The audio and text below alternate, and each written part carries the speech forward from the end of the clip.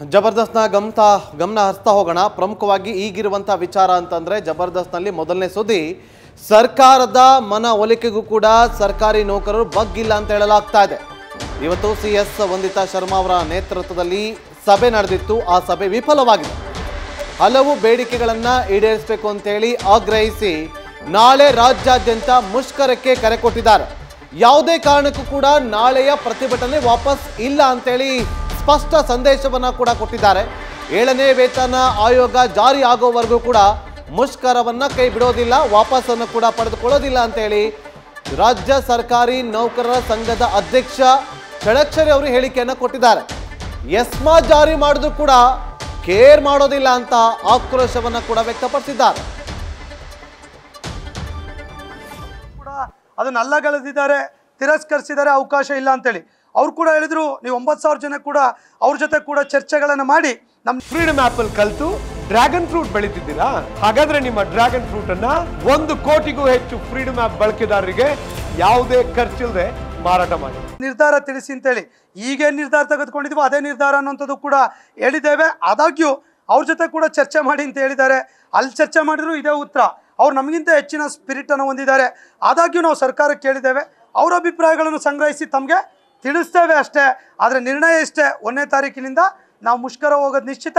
ಆದಷ್ಟು ಬೇಗ ಸರ್ಕಾರ ಈ ವೇತನ ಆಯೋಗದಿಂದ ವರದಿ ಪಡಿತೀರೋ, ಹಂಗೆ ಮಾಡ್ತಿರೋ, ಕ್ಯಾಬಿನೆಟ್ಗೆ ತರ್ತಿರೋ ಒಂದು ಸರ್ಕಾರಿ ಆದೇಶವನ್ನು ಮಾಡಿ ಜುಲೈಯಿಂದ ನಲವತ್ತು ಪರ್ಸೆಂಟ್ ಫಿಟ್ಮೆಂಟನ್ನು ಕೊಡಬೇಕು ಅನ್ನುವಂಥ ವಿಚಾರದಲ್ಲಿ ನಾವು ಹಿಂದೆ ಸರಿಯುವಂಥ ಪ್ರಶ್ನೆ ಇಲ್ಲ. ಒಂದು, ಎರಡನೇದು ನೂತನ ಪಿಂಚಣಿ ಯೋಜನೆ ಐದು ರಾಜ್ಯಗಳಲ್ಲಿ ಏನಾಗಿದೆ? ಅದೇ ಮಾದರಿಯಲ್ಲಿ ನಮ್ಮಲ್ಲೂ ಕೂಡ ಆಗಬೇಕು. ಅದ್ರ ಬಗ್ಗೆ ಮುಖ್ಯಮಂತ್ರಿಗಳೆಲ್ಲೂ ಕೂಡ ಮಾತಾಡ್ತಿಲ್ಲ. ಸರ್ಕಾರದ ಅಧಿಕಾರಿಗಳು ಮಾತಾಡ್ತಿಲ್ಲ. ಸುಮಾರು ಮೂರುವರೆ ಲಕ್ಷ ಜನ ಎನ್ ಪಿ ಎಸ್ ನೌಕರಿದ್ದಾರೆ. ಅದ್ರ ಬಗ್ಗೆನೂ ಕೂಡ ಸ್ಪಷ್ಟ ನಿಲುವನ್ನು ಸರ್ಕಾರ ತೆಗೆದುಕೊಳ್ಳದೆ ಇರೋದ್ರಿಂದ ನಾವು ಮುಷ್ಕರಕ್ಕೆ ಹೋಗುವಂಥದ್ದು ಶತಸಿದ್ಧ ಒಂದನೇ ತಾರೀಕು. ಮೀಟಿಂಗ್ ಚರ್ಚೆ ಆಗುತ್ತೆ. ಬಹುಶಃ ನಾಳೆನೂ ಕರಿಬೋದು. ಸಂಜೆ ಕರಿಬೋದು. ಸರ್ಕಾರ ಯಾವಾಗ ಕರೆದ್ರೂ ಕೂಡ ನಾವು ಸಭೆಗೆ ಬರ್ತೀವಿ. ನಾವು ಸರ್ಕಾರದ ಮಕ್ಕಳು. ಸರ್ಕಾರ ಕರೆದಾಗ ಸಭೆಗೆ ಬರ್ತೀವಿ, ಒಳ್ಳೆ ರಿಪೋರ್ಟ್ ಬಂತ ರಿಸೀವ್ ಮಾಡ್ಕೊಳ್ತೀವಿ ಪಾಸಿಟಿವ್ ಆಗಿ ಬಂದರೆ ಮಾಧ್ಯಮದ ಮುಂದಕ್ಕೆ ರಿಯಾಕ್ಷನ್ ಕೊಡ್ತೀವಿ. ಅವ್ರು ಹೇಳಿದ್ದಾರೆ ನೀವು ಒಂಬತ್ತು ಸಾವಿರ ಜನ ಚುನಾಯಿತ ಪ್ರತಿನಿಧಿಗಳ ಜೊತೆ ಚರ್ಚೆ ಮಾಡಿ ಅಂತ ನಾನು ಅಲ್ಲೇ ಹೇಳಿದೆ. ಅವ್ರು ಯಾರೂ ಒಪ್ಪೋದಿಲ್ಲ, ಸರ್ ಒಬ್ಬರು ಒಪ್ಪಲ್ಲ ಅಂತಲೂ ಕೂಡ ಹೇಳಿ ಬಂದಿದ್ದೇನೆ ಆದಾಗ್ಯೂ ಕೂಡ ಕೇಳಿ ಅಂದಿದ್ದಾರೆ ಅವ್ರನ್ನೂ ಕೂಡ ಕೇಳ್ತೀವಿ.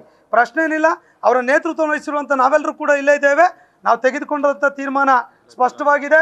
ಎಲ್ಲ ಜಿಲ್ಲಾಧ್ಯಕ್ಷ ಇರ್ಬೋದು ಎಲ್ಲರೂ ಇರ್ಬೋದು, ಒಟ್ಟಾಗಿ ಬರುವ ದಿನಗಳಲ್ಲಿ ಇನ್ನೊಂದು ಮಾಧ್ಯಮದರಲ್ಲಿ ವಿನಂತಿ ಮಾಡ್ತೇನೆ. ಕೆಲವರು ಸಂಘಟನೆ ಹೋರಾಟಕ್ಕೆ ಹೋದರೆ ಒಂದಿಷ್ಟು ಡಿಫ್ರೆನ್ಸಸ್ಗಳಿದೆ ಆಗಿದೆ, ಹೀಗಿದೆ ಅನ್ನುವಂಥ ಚರ್ಚೆಗಳು ಸಹಜ ಇತ್ತು. ಯಾರೋ ಎನ್ ಪಿ ಎಸ್ನವ್ರು ಎಂಥದೂ ಇಲ್ಲ. ಈ ರಾಜ್ಯದಲ್ಲಿ ಹತ್ತು ಲಕ್ಷ ನೌಕರು ಕೂಡ ಒಟ್ಟಾಗಿದ್ದೇವೆ, ಒಗ್ಗಟ್ಟಾಗಿದ್ದೇವೆ, ಒಟ್ಟಾಗಿ ಎಲ್ಲ ವೃಂದ ಸಂಘಗಳು ಸೇರಿ ಈ ಹೋರಾಟಕ್ಕೆ ಹೋಗ್ತಾ ಇದ್ದೀವಿ ಸಾಮೂಹಿಕ ನಾಯಕತ್ವದಲ್ಲಿ ಅನ್ನುವಂಥದ್ದನ್ನು ಹೇಳ್ತಾ ಅವರೆಲ್ಲರೂ ನನಗೆ ಜವಾಬ್ದಾರಿ ಕೊಟ್ಟಿದ್ದಾರೆ. ಇದರ ನೇತೃತ್ವ ವಹಿಸಿ ಅಂತೇಳಿ ಹಾಗಾಗಿ ಈ ಸಂದರ್ಭದಲ್ಲಿ ನಾವು ಮುಷ್ಕರಗಳನ್ನು ವಾಪಸ್ ತೆಗೆದುಕೊಳ್ಳುವಂಥ ಪರಿಸ್ಥಿತಿ ಸಂದರ್ಭ ಉದ್ಭವ ಆಗಲ್ಲ. ಒಂದು ವೇಳೆ ಅದು ನೌಕರರ ಅಭಿಪ್ರಾಯಕ್ಕೆ ವಿರುದ್ಧ ಆಗ್ತದೆ, ಆ ಕಾರಣಕ್ಕಾಗಿ ನಾವು ಮುಷ್ಕರಕ್ಕೆ ಹೋಗುವಂಥದ್ದು ನಿಶ್ಚಿತ ಅನ್ನುವಂಥದ್ದನ್ನು ಹೇಳ್ತಾ, ಸಭೆನಲ್ಲಿ ಕಳೆದ ಇದಾಗಲೇ ನಾಲ್ಕನೇ ಸಭೆ, ಎಲ್ಲ ಸಭೆಗಳಲ್ಲೂ ಚರ್ಚೆಗಳಾಗ್ತಿದೆ. ಎಲ್ಲ ಫಲಿತಾಂಶಗಳು ಬರ್ತಾ ಇಲ್ಲ. ಹಾಗಾಗಿ ಫಲಿತಾಂಶವನ್ನು ಕೂಡ ಅತ್ಯಂತ ಹತ್ತಿರದಿಂದ, ಕಾತುರದಿಂದ ನಾವು ಕಾಯ್ತಾ ಇದ್ದೇವೆ ಎನ್ನುವಂಥದ್ದನ್ನು ಈ ಸಂದರ್ಭದಲ್ಲಿ ಹೇಳಲಿಕ್ಕೆ ನಾನು ಬಯಸ್ತಾ ಇದ್ದೇನೆ. ಹಾಗಾಗಿ ಎಲ್ಲ ವೃಂದ ಸಂಘಗಳು ಒಟ್ಟಾಗಿದ್ದೀವಿ, ಒಗ್ಗಟ್ಟಾಗಿದ್ದೇವೆ. ಇದೊಂದು ಇತಿಹಾಸ. ಇಪ್ಪತ್ತ ನಾಲ್ಕು ವರ್ಷಗಳಾಯ್ತು ಹೋರಾಟ ಮಾಡಿ. ಬಹುಶಃ ಸರ್ಕಾರ ಇಪ್ಪತ್ತೆರಡು ವರ್ಷ ಆಯಿತು. ಬಹುಶಃ ಜೆ ಎಚ್ ಪಟೇಲ್ರ ನಂತರದಲ್ಲಿ ಬೇಡಿಕೆಗಳಿಗೆ ಆಗ್ರಹಿಸಿ ನಾಳೆ ಸರ್ಕಾರಿ ನೌಕರರು ಸಂಗ್ರಾಮವನ್ನ ಸಾರಲಿದ್ದಾರೆ. ಏಳನೇ ವೇತನ ಆಯೋಗ ಓಪಿಎಸ್ ಜಾರಿಗೆ ಆಗ್ರಹಿಸಿ ಧರಣಿಗೆ ಕೂರಲಿದ್ದಾರೆ. ನಿವೃತ್ತ ಅಂಗನವಾಡಿ ಕಾರ್ಯಕರ್ತೆಯರಿಂದಲೂ ಕೂಡ ಪ್ರತಿಭಟನೆ ನಡೆಯುತ್ತೆ. ಸಾರಿಗೆ ನೌಕರರು, ಪೌರ ಕಾರ್ಮಿಕರಿಂದಲೂ ಕೂಡ ಪ್ರತಿಭಟನೆಗೆ ಸಾಥ್ ಕೊಡಲಿದ್ದಾರೆ ಎನ್ನುವ ಮಾಹಿತಿ ಈಗ ಲಭ್ಯವಾಗಿದೆ. ಚುನಾವಣೆ ಹೊತ್ತಲ್ಲಿ ಸರ್ಕಾರಕ್ಕೆ ಈ ಪ್ರತಿಭಟನೆಯ ಬಿಸಿ ತಟ್ಟುತ್ತೆ ಅಂತ ಹೇಳಲಾಗ್ತಾ ಇದೆ. ಸುಮಾರು ಹತ್ತು ಲಕ್ಷ ಸರ್ಕಾರಿ ನೌಕರರಿಂದ ನಾಳೆ ಪ್ರತಿಭಟನೆ ನಡೆಯುತ್ತೆ. ಹಾಗಾದರೆ ನಾಳೆ ಯಾವೆಲ್ಲ ಸೇವೆಗಳು ಲಭ್ಯವಾಗುತ್ತೆ, ಯಾವ ಸೇವೆ ಲಭ್ಯವಿರೋದಿಲ್ಲ ಅನ್ನೋದನ್ನು ಒಂದೊಂದಾಗಿ ನೋಡ್ತಾ ಹೋಗೋಣ.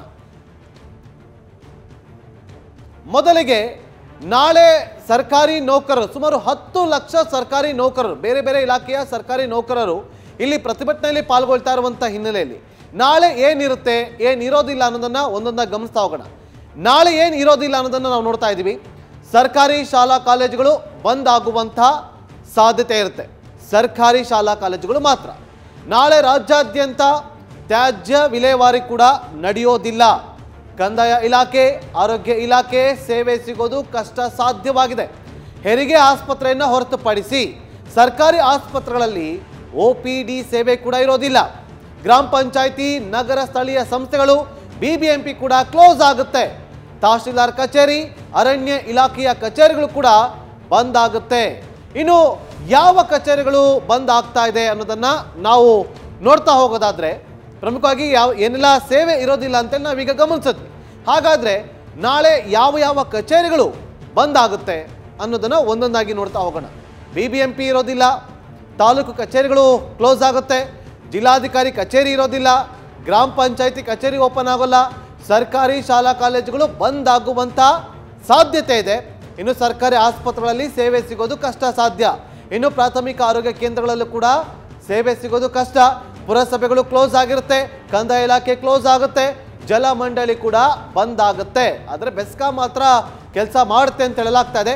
ಈ ಎಲ್ಲ ಇಲಾಖೆಗಳು ಕೂಡ ನಾಳೆ ಕ್ಲೋಸ್ ಆಗುವಂಥ ಹಿನ್ನೆಲೆಯಲ್ಲಿ ನೀವೇನಾದರೂ ನಾಳೆ ಈಗ ನಾವು ಹೇಳ್ದಂಥ ಇಲಾಖೆಗಳಿಗೆ ಹೋಗಬೇಕು ಅಂತೇಳಿ ಪ್ಲಾನನ್ನು ಮಾಡಿಕೊಂಡ್ರೆ ಅದನ್ನು ತಾತ್ಕಾಲಿಕವಾಗಿ ನೀವು ಮುಂದೂಡಿಕೆ ಮಾಡ್ಕೊಳ್ಳೋದು ಒಳ್ಳೇದು. ಯಾಕಂದರೆ ಇವತ್ತು ಸರ್ಕಾರ ಎಸ್ಮಾ ಜಾರಿ ಮಾಡ್ತೀವಿ ಅಂತೇಳಿ ಬೆದರಿಕೆ ಹಾಕಿದ್ರು ಕೂಡ ನಾವು ಯಾವುದಕ್ಕೂ ಕೂಡ ತಲೆ ಕೆಡಿಸ್ಕೊಳ್ಳೋದಿಲ್ಲ ಅಂತೇಳಿ ಎಲ್ಲ ಸರ್ಕಾರಿ ನೌಕರರು ಕೂಡ ಸುಮಾರು ಹತ್ತು ಲಕ್ಷ ಸರ್ಕಾರಿ ನೌಕರರು ನಾಳೆಯಿಂದ ಪ್ರತಿಭಟನೆಗೆ ಧುಮುಕಲಿದ್ದಾರೆ. ಎಸ್ಮಾ ಜಾರಿ ಮಾಡೇ ಬಿಡ್ತಾರಾ ಅನ್ನೋ ಪ್ರಶ್ನೆಗಳು ಕೂಡ ಉದ್ಭವ ಆಗುತ್ತೆ. ಎಸೆನ್ಷಿಯಲ್ ಸರ್ವಿಸ್ ಮೈಂಟೈನ್ ಆಕ್ಟ್ ಅಂತೇಳಿ ಎಸ್ಮಾ ಜಾರಿ ಕರಿತೀವಿ. ಇದು ಜಾರಿ ಮಾಡಿದ್ರು ಕೂಡ ನಾವು ಡೋಂಟ್ ಕೇರ್ ಅಂತಿದ್ದಾರೆ. ಎಸ್ಮಾ ಜಾರಿ ಮಾಡಿದ್ದೇ ಆದರೆ ಇದೊಂದು ರೀತಿಯಲ್ಲಿ ಸರ್ಕಾರದ ಬಳಿ ಇರುವಂಥ ಒಂದು ಕಪಿಮುಷ್ಟಿಯಾಗಿರುವಂಥ ಒಂದು ಕಾನೂನು ಅಂದ್ರೂ ಕೂಡ ತಪ್ಪಾಗೋದಿಲ್ಲ. ಇದನ್ನು ಎಸ್ಮಾ ಜಾರಿ ಮಾಡಿದ್ದೆ ಆದರೆ ಪ್ರತಿಯೊಬ್ಬ ಸರ್ಕಾರಿ ನೌಕರರು ಕೂಡ, ಅದರಲ್ಲೂ ಪೊಲೀಸವರು ಕೂಡ ಇರ್ಬೋದು, ಯಾವುದೇ ಸರ್ಕಾರದ ಅಡಿಯಲ್ಲಿ ಬರುವಂಥ ಸರ್ಕಾರ ಇಲಾಖೆಗಳ ಎಲ್ಲ ಸರ್ಕಾರಿ ನೌಕರರು ಕೂಡ ಎಸ್ಮಾ ಜಾರಿ ಆದ ಮೇಲೆ ಕಂಪಲ್ಸರಿ ಕೆಲಸಕ್ಕೆ ಹೋಗಲೇಬೇಕು. ಒಂದು ವೇಳೆ ಅವರು ಕೆಲಸಕ್ಕೆ ಹೋಗಿಲ್ಲ ಅಂತ ಅಂದರೆ, ಅಥವಾ ಅದನ್ನು ರೂಲ್ಸನ್ನು ಬ್ರೇಕ್ ಮಾಡಿದ್ದೇ ಆದರೆ ವಾರೆಂಟ್ ಇಲ್ಲದೆ ಅವ್ರನ್ನ ಅರೆಸ್ಟ್ ಮಾಡ್ಬೋದು. ಆರು ತಿಂಗಳ ಕಾಲ ಅವ್ರನ್ನ ಜೈಲಿನಲ್ಲಿ ಇರಿಸ್ಬೋದು. ಇದನ್ನು ಹೊರತುಪಡಿಸಿ ಏನು ಸರ್ಕಾರಿ ನೌಕರಿಯ ಭತ್ಯೆ ಆಗಿರ್ಬೋದು ಅಥವಾ ಪಿಂಚಣಿ ಆಗಿರ್ಬೋದು ಅಥವಾ ಅವರ ವೇತನ ಆಗಿರ್ಬೋದು, ಇದೆಲ್ಲವಕ್ಕೂ ಕೂಡ ಸಮಸ್ಯೆ ಆಗುತ್ತೆ. ಸೊ ಹಾಗಾಗಿ ಎಸ್ಮಾ ಜಾರಿ ಅಂತಂದರೆ ಸಾಕು. ಈ ಹಿಂದೆ ಎಲ್ಲ ಸರ್ಕಾರಿ ನೌಕರರು ಕೂಡ ಹಿಂದೆಟನ್ನು ಹಾಕ್ತಾ ಇದ್ರು. ಆದರೆ ಈ ಬಾರಿ ಏಳನೇ ವೇತನ ಆಯೋಗ ಜಾರಿ ಆಗಲೇಬೇಕು. ನೀವೇನಾದರೂ ವರದಿ ತರಿಸ್ಕೊಳ್ಳಿ, ಬೇಡ ಅದು ನಿಮಗೆ ಬಿಟ್ಟಿದ್ದು. ಇದೆಲ್ಲವನ್ನು ಕೂಡ ಗಮನಿಸ್ತಾ ಹೋಗ್ತೀವಿ. ನಾವು ನಾವು ಪ್ರತಿಭಟನೆ ಮಾಡೋದು ಸ, ಶತಸಿದ್ಧ ಅಂತೇಳಿ ಕರೆ ಕೊಟ್ಟಿದ್ದಾರೆ. ಚುನಾವಣಾ ವರ್ಷದಲ್ಲಿದ್ದೀವಿ. ಸೊ ಹಾಗಾಗಿ ಈ ಸಂದರ್ಭದಲ್ಲಿ ಸರ್ಕಾರಕ್ಕೆ ಈ ಸರ್ಕಾರಿ ನೌಕರರ ಪ್ರತಿಭಟನೆ ದೊಡ್ಡ ಮಟ್ಟದಲ್ಲಿ ಬಿಸಿ ತಟ್ಟುತ್ತೆ ಅಂದ್ರೂ ಕೂಡ ತಪ್ಪಾಗೋದಿಲ್ಲ.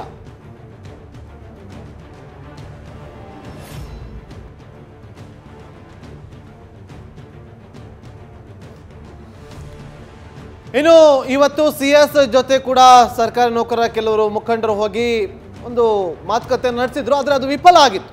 ಇವತ್ತು ರಾತ್ರಿ ಒಂಬತ್ತುವರೆಗೆ ಸಿ ಎಂ ಬಸವರಾಜ ಬೊಮ್ಮಾಯಿ ಅವರ ನೇತೃತ್ವದಲ್ಲಿ ಒಂದು ಸಭೆ ಕೂಡ ಏರ್ಪಟ್ಟಿದೆ. ಸಭೆ ನಡೆಯುತ್ತೆ. ಸಭೆಯಲ್ಲಿ ಯಾವ ನಿರ್ಧಾರವನ್ನು ತೆಗೆದುಕೊಳ್ಳುತ್ತಾರೆ? ಸಾರಿಗೆ ನೌಕರರ, ಅಂದರೆ ಸರ್ಕಾರಿ ನೌಕರರ ಮುಖಂಡತ್ವವನ್ನು ವಹಿಸಿರುವಂಥ ಷಡಕ್ಷರಿ ಅವರು ಎಲ್ಲ ಇಲಾಖೆಗಳನ್ನು ಒಗ್ಗೂಡಿಸ್ಕೊಂಡು ನಾವು ಪ್ರತಿಭಟನೆಯನ್ನು ಮಾಡ್ತಾ ಇದ್ದೀವಿ ಅಂತ ಹೇಳ್ತಿದ್ದಾರೆ. ಇವತ್ತು ಸಿ ಎಂ ಬಸವರಾಜ ಬೊಮ್ಮಾಯಿ ಅವರು ಒಂಬತ್ತುವರೆಗೆ ಸಭೆಯನ್ನು ನಡೆಸಿ, ಒಂದು ತೀರ್ಮಾನಕ್ಕೆ ಬರ್ತಾರಾ? ಅಥವಾ ಭರವಸೆಯನ್ನು ಕೊಡ್ತಾರಾ? ಬೇಡ, ಪ್ರತಿಭಟನೆ ಮಾಡಬೇಡಿ ಅಂತೇಳಿ ಮನವಿಯನ್ನು ಮಾಡ್ಕೊಳ್ತಾರ ಅನ್ನೋ ತೀವ್ರ ಕುತೂಹಲ ಕೇಳಿಸ್ತಾ ಇದೆ. ಯಾಕಂದರೆ ಒಂದು ಕಡೆಗೆ ಆಲ್ರೆಡಿ ಸಿ ಎಂ ಬಸವರಾಜ ಬೊಮ್ಮಾಯಿಯವರು ಹೇಳಿಕೆಯನ್ನು ಕೊಟ್ಟಿದ್ದಾರೆ.